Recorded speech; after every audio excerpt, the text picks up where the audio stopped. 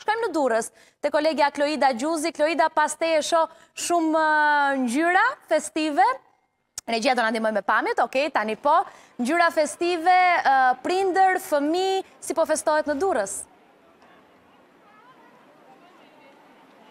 Në fakt si kurrë më parë, si rrallë herë duhet thënë, sheshi Liria zakonisht në ngjyrë gri sot ka pasur ngjyra, ka pasur alegri, ka pasur muzikë, sepse nuk është shumë e zakonshme në Durrës që të kemi aktivitete të tilla si ky që kishim gjatë orëve të paraditës së sotme për të festuar pikërisht ditën e verës, ndonëse në fakt nuk është një festë tradicionale në Durrës, është zakonisht një festë më shumë në kalendar që do të thotë edhe një ditë pushimi për ata që janë në punë kanë përfituar për të pasur kështu për të shijuar diellin që ka pasur temperatura pranverore sot në Durrës, për të bërë një shëtitje bregu detit, por edhe për të shijuar atmosferën apo dekorin festiv që është vendosur në sheshin përpara bashkisë. Ka pasur një aktivitet të zhvilluar nga ana e bashkisë me fëmijët të veshur me personazh me me veshjet e personazheve të tyre të animuar të preferuar. Ka pasur kërcim, ka pasur muzikë, ka pasur shumë të qeshura. Nuk ka munguar verorja, nuk ka munguar ballokumja dhe ndonëse siç e thashë nuk janë karakteristike për qytetin e Durrësit. Po pra, prandaj doja të të pyesja, kur thua nuk është karakteristike ose ka ndodhur ndryshe nga vitet e tjera, si shpjegohet që këtë vit është pritur kaq ndryshe, me kaq alegri, muzikë, ngjyra, festë e të tjera? I ka marrë malli të festojnë durrsakët apo?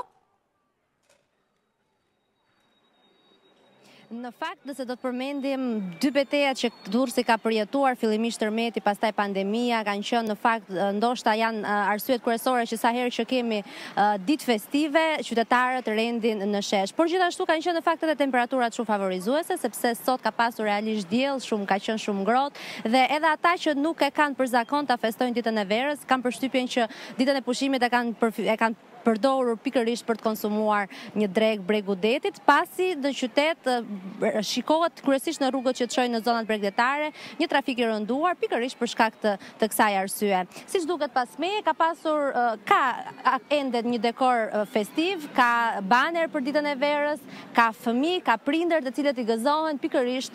kësaj për të përjetuar kështu atmosferën e ditës verës ndonëse nuk është shumë karakteristike për qytetin e Durrësit. Ajo që vihet re në fakt sivjet është që ka pasur pak persona tenda të ngritura nga tregtarët e ballokumeve që ndryshe në vitet e shkuara mbushnin sheshin ku unë ndodhem për të shitur pikërisht këtë produkt, simbolin e ditës së verës, por ka pasur, besoj kjo kjo mungesë është mbushur pasi të gjitha marketet apo dyqanet në qytetin e Durrësit sigurisht që e kanë ballokumen, por edhe veroren, të dyja karakteristike për këtë ditë. Të lutem, Kloida, në vijim, nëse do mundesh të gjesh një person që i shet apo i bën verore, do ishte shumë bukur ta kishim në një lidhje direkte pas pak, nëse do ta kesh gati gjithmonë. Faleminderit për gjithë atmosferën që përcolle.